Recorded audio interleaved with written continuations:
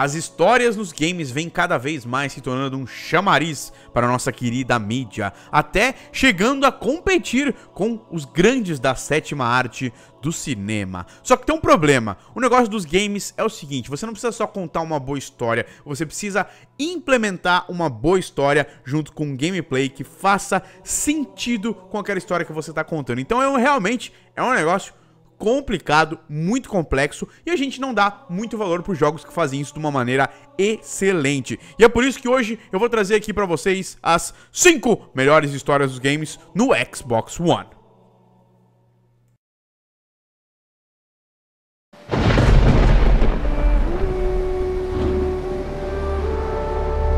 O primeiro jogo da nossa lista é Ori and the Blind Forest. E você vai achar que é estranho porque, pô, é um jogo de plataforma, tal, que o foco é você pular, quicar ali, quicar aqui. Não tem tanta cutscene assim, a maior parte do jogo realmente é você jogando, ali tem uma cutscene ou outra. E você vai falar, como que esse jogo pode ter uma história incrível se não tem nem diálogo direito? É exatamente por isso, cara. É muito focado em te contar a história através da gameplay. Os sentimentos que o personagem precisa estar assistindo, que o Ori precisa estar sentindo, você está sentindo enquanto você joga, enquanto você tem a experiência de controlar ele ali nessa querida jornada que ele acaba tendo, né? Querida e meio dark até, né? Mas é isso, cara. Eu não vou contar aqui o que acontece na história, mas entenda que Ori and the Blind Forest faz isso muito bem, consegue pegar essa mídia que a gente tem, que são dos jogos, e consegue nos trazer essa história, como eu falei, sem tanto diálogo, sem muita cutscene, realmente só com a gameplay e com uma outra ceninha ali para te deixar mais é, ent entendido, né, dentro do que tá acontecendo na história do jogo. Então ele faz isso de uma maneira muito, muito excelente. Ele consegue trazer essa experiência combinada aí entre uma boa narrativa e um gameplay que combina com essa narrativa, que explica essa narrativa para o jogador.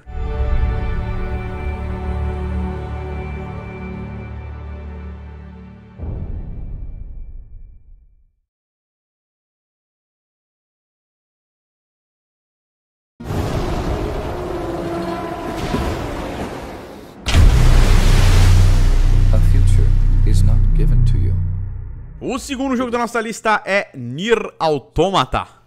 E falando de história que combina com gameplay, Nier Automata vai além. Porque esse jogo realmente conseguiu é, fazer um sistema de gameplay que se integra demais na história. Porque no Nier Automata você controla dois androids ali, né? Na verdade, você controla um ou outro, né? Dependendo da situação.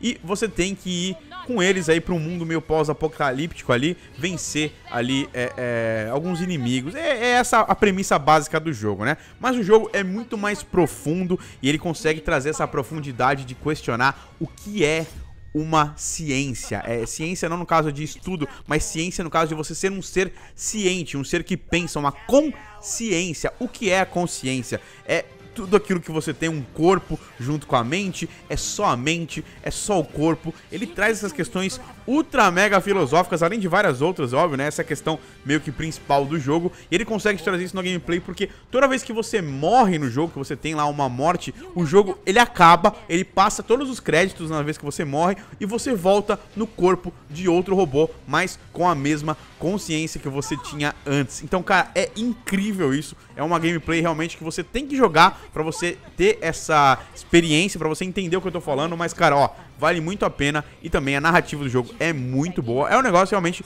é uma obra de arte dentro dos games assim, porque é o que consegue utilizar realmente a mídia de uma forma que a gente nunca esperava. The truth can be so painful.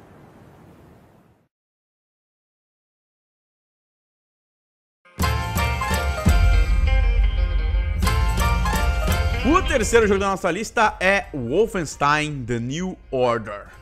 E assim, a gente acabou de falar de duas experiências que combinam muito a gameplay com a história e tal. E o Wolfenstein The New Order não é tanto assim, eu vou ser sincero, ele é mais um jogo padrão que tem a separação entre cutscene e gameplay, mas a história dele é muito legal, é muito hora. E assim, é como se fosse um filme do Arnold Schwarzenegger, um filme do Stallone. É uma história meio boa, não tem muita profundidade nem nada, mas é uma história que conta. E se os nazistas tivessem ganho a Segunda Guerra Mundial, o que aconteceria? E você vai passar por essa experiência ali com o BJ Blazkowicz. E a gameplay até que tem assim um pouco de integração, porque o jogo ele quer te passar essa experiência de você realmente acabar com esses malditos nazistas e você se sente muito bem ao fazer isso enquanto você joga. Então as armas são muito boas de usar, é muito gostoso. Você consegue, quando você atira nas pessoas, as pessoas explodem em mil pedacinhos. Então é muito satisfatório você acabar com esses seus inimigos e isso representa bem a guerra, né? E representa bem a vontade que o BJ Blazkowicz tem de pegar aí, de ter realmente uma, é, uma revanche contra esses nazistas malditos que ganharam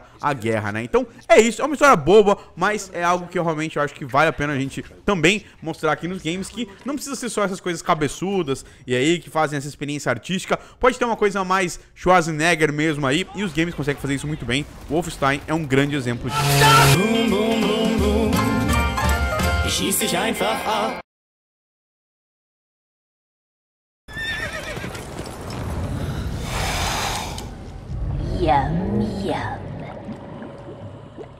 O quarto jogo da nossa lista é Witcher 3. E esse eu acho que eu preciso falar pouca coisa, porque eu acho que tem pouca gente que não jogou Witcher 3. Se você não jogou, pare agora de ver esse vídeo e vá jogar, pelo amor de Deus, o que você tá esperando? É excelente, tanto narrativamente quanto na parte aí da gameplay, mas a gente tá aqui falando narrativa, e ele também é mais ou menos igual o Wolfenstein, assim, ele não é um jogo lá muito pesado, tá com questões muito profundas, ele até tem, né, como tem um jogo com muita história, com muita missão extra e tal, ele até tem essas questões, mas elas são mais é, espalhadas por esse mundo incrível, e é isso que o Witcher 3 faz, é isso que ele tá aqui, por isso que ele se diferencia, porque o mundo dele é muito complexo, muito completo, todas as histórias, mesmo as as histórias de, de missão extra, assim, né, side mission, elas são histórias muito bem feitas, feitas com muito carinho, que fazem com que esse mundo inteiro fascine, né, cara?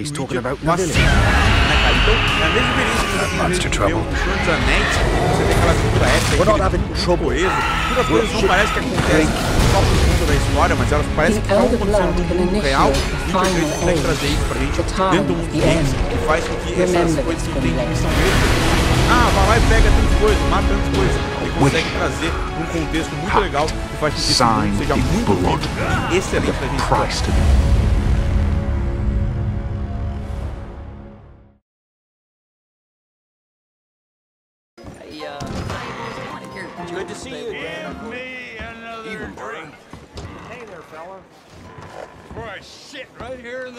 E o quinto jogo da nossa lista é Red Dead Redemption 2.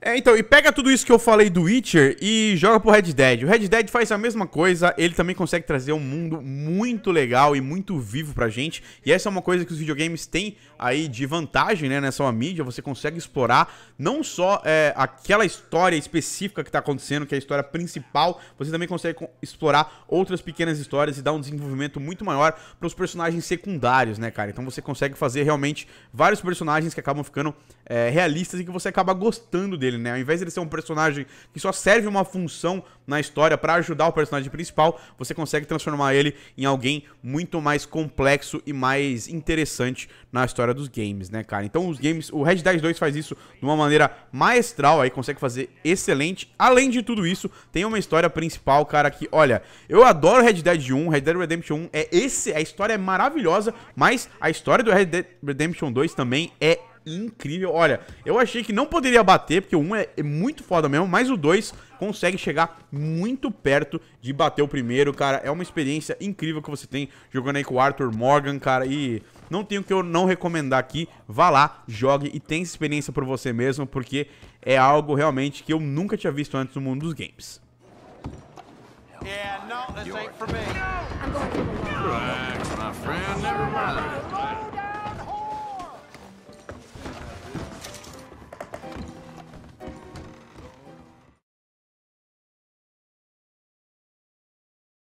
Mas é isso aí, como eu sempre falo aqui, é óbvio que faltam vários e vários jogos que poderiam ter entrado nessa lista, então agora vem a seu poder, a sua parte aqui neste vídeo. Deixa aí nos comentários os jogos que vocês acham que faltaram aqui nessa lista, eu vou estar muito feliz aí de talvez fazer outra lista com as suas sugestões aqui pro canal, beleza? Também não esqueça de deixar aquele joinha maroto pra gente aqui na divulgação e também não esqueça de seguir as nossas redes sociais pra você não perder nenhum conteúdo que a gente posta aqui no canal da Joinville Games, beleza? Se inscreve no canal, clica no sininho e é isso aí. Eu vou ficando por aqui. Um abraço pra todo mundo e também...